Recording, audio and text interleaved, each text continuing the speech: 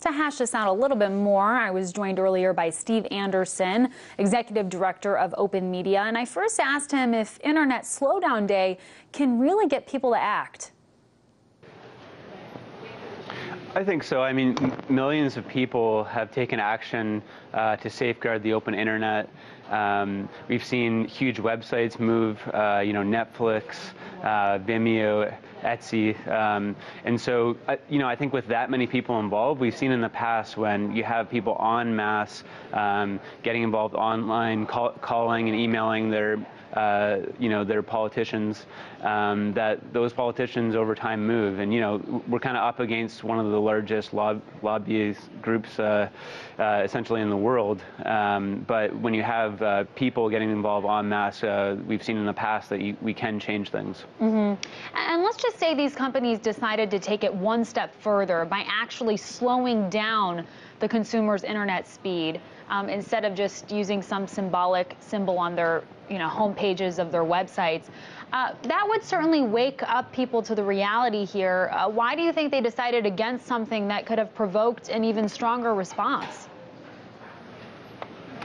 Um, well, I think that they just wanted to um, kind of symbolize or give you the feeling of that kind of slow loading wheel. And I think the widgets that um, the companies are putting up and uh, other websites, uh, you know, nonprofit websites as well, um, are putting up kind of gives you that feeling of what it's like to have a slower internet.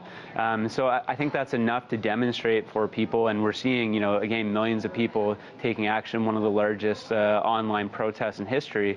Um, so I, I don't think that they actually need to slow down all their services, but just show people, give them a sense of what it will feel like um, if the telecom companies um, get to control the internet and make it more like television. Mm -hmm. And what's interesting is, you know, bigger companies are on board. You mentioned Netflix uh, also participating in this uh, campaign. What's interesting is that uh, this proposal could actually stand to benefit large video streaming companies just like Netflix by allowing its video to, to stream much faster. So is this move surprising that, that Netflix is on board? Um, well, I think companies like that know that they would never have gotten a foothold in the marketplace if there wasn't an open, non-discriminatory internet.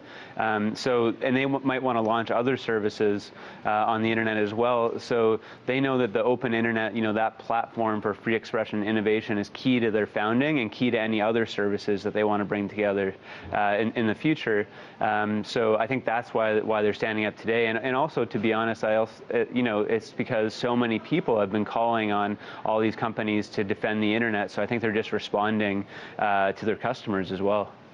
And Steve, opponents to this FCC proposal say that instead of creating slow and fast lanes, what would be more fair is reclassifying the broadband provision as a telecommunications service. I was hoping you could shed light on how that would work. Yeah, well, I, I, mean, what's happened is um, the regulators at the FCC have tried to uh, assert internet openness rules, you know, net neutrality rules, um, but the court uh, has said that uh, they don't actually have the jurisdiction to do that with the way that they classify internet services. So what many people have been saying is just reclassify um, internet services as part of telecommunication services because it is, you know, provided by telecom companies, um, so that you can prevent the, these, uh, you know, huge companies from slowing down our access to our favorite websites. Um, so it's just basically a way to make sure that the internet is governed in an open and, and neutral way, and, and, that seems like the best path forward right now. Now, the campaign is clearly making an attempt to get as many people as possible to target the FCC, sending in comments and so forth before the uh, September 15th deadline. At what point uh, should we expect to hear a verdict out of the FCC on the ruling?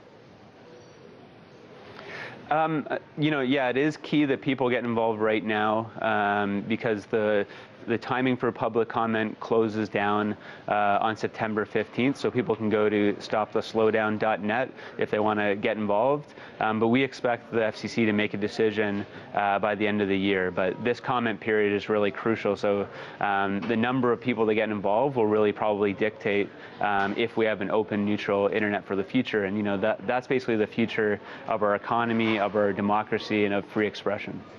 And if the FCC does go forward with the proposal in its current form, what's the next step? Uh, does that proposal have to be approved by Congress? Um, Congress does not have to approve it, um, but um, they they could try to um, undermine it through passing legislation that just undermines the, the FCC's regulatory uh, power.